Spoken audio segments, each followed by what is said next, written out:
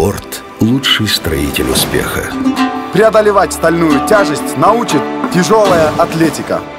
Дисциплина и упорство – мастерство бокса. Несгибаемый дух – основа борьбы. Равновесие тела и духа – философия дзюдо. Гибкость мышления – искусство тэквондо.